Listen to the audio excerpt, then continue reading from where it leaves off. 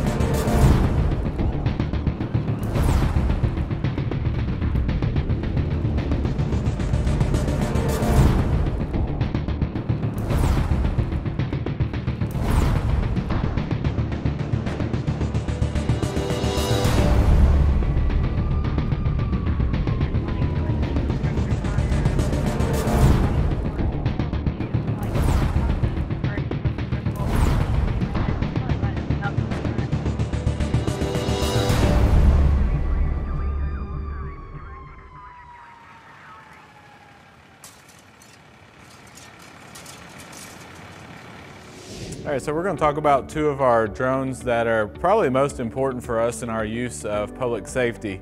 So both of these drones are very similar in uh, aspect because they're both uh, DJI dual enterprise drones. One is the enterprise dual, so it has uh, two sensors there. So we have a FLIR sensor plus just a regular camera sensor. And that FLIR sensor allows us to get thermal capabilities out of that. So what we talk about when we're looking at thermal is we're looking for heat signatures within houses. Um, from the higher perspective, we're able to search land with this and even open water with those. So they also have a few accessories and we'll go over those in just a second. Our newest drone to our fleet is the DJI um, Advanced. And so it is a similar to the dual, it has two different cameras, but this one has a larger um, camera sensor, plus it also has a larger thermal sensor. So that thermal sensor allows us to get a better view of the thermal capabilities, which is the same things looking for heat um, signatures, but we can do it from a higher perspective here. This camera also gives us a 32 uh, times zoom, which allows us to get closer in on the objects we're looking at. Both of these drones um, obviously are remote operated, um, but they come with um, different accessories in terms. So we have the ability for these both, both of these to speak to subjects.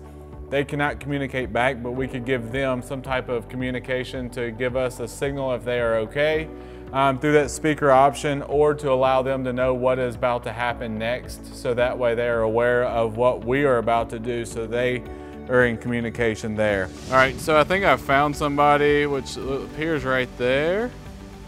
So we're gonna go ahead and record a broadcast. So if you can hear us, wave your hands. If you can hear us, wave your hands.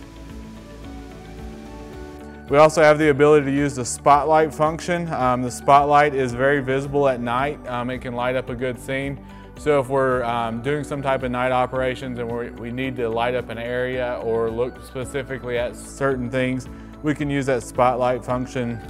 And then this is just a three nautical or three aeronautical mile um, visibility strobe, which we use on all night operations, um, which that is FAA certified or FAA requirement. So um, the third um, drone in our fleet is a DJI Phantom 4 version 2. Um, this is a, basically it's just a visual drone. So we can utilize this drone for area mapping. Uh, we can get really clear pictures out of this drone. And anytime we need to map a specific area or look at a specific area, this is a quick drone we can get up into the air and get a very clear daytime image of it and get a very clear map of that um, area. It also allows us to um, do different training exercises with our training division and do some video um, for them to be able to critique specific things within those trainings. Um, and this gives them a clearer image for that specific purpose. And, and all of these drones are very valuable for the decision makers on the scene uh, when you have incident command set up, which that's how we function, incident command can be some distance away from the actual incident. So uh, when we're flying at an incident, we're able to take a drone, go to the incident and the shift commander who's making decisions can see what's going on and it makes a huge difference when they can actually put eyes on that event. So years ago, if we had an incident, um, we relied on our aerial apparatus to give the battalion chiefs an, a view of the scene from overhead. And the limitations to that is it's really a static view. Once you put that up, you don't move it around. It, it's kind of set in that location. Uh, the, and the height. So we have aerials that go from 75 foot to 105 foot. Uh, with the drone, um, FAA regulation says we can fly these at 400 foot and we can actually fly, fly out as far as we can see with our eyes. So um, that gives us a lot more uh, functionality and ability to see the scene from multiple views and show that and work with the battalion chief so they can make decisions on tactics and what we're going to do.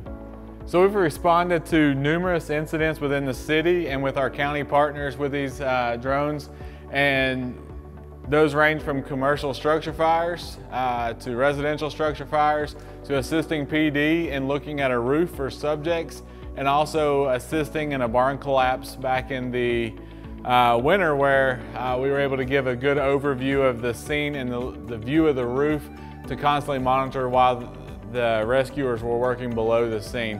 One of the more notable res, uh, assistance we've done is with the water rescue that uh, we were able to assist in locating a stranded kayaker on the Harpeth River who was clinging to a tree there and we were able to constantly monitor that boat operation with our uh, drone and utilizing the thermal imaging capabilities and getting the, the heat signatures and locating that person. Thanks so much for watching our video on how we use drones at Franklin Fire Department.